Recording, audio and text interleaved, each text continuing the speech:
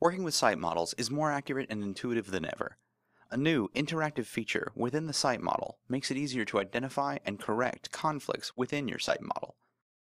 These indicators, which appear to mark any errors during validation, are part of the object selection process, so they will only appear when the site model is actively selected.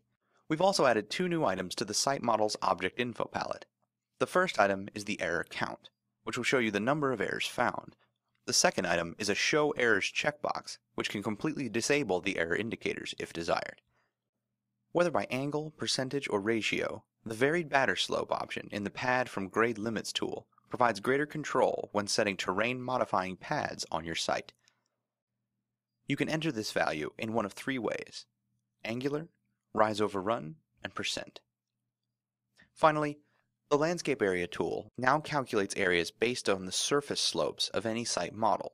This improvement allows for the accurate measurement of a surface area rather than a simple projected surface area as was used before.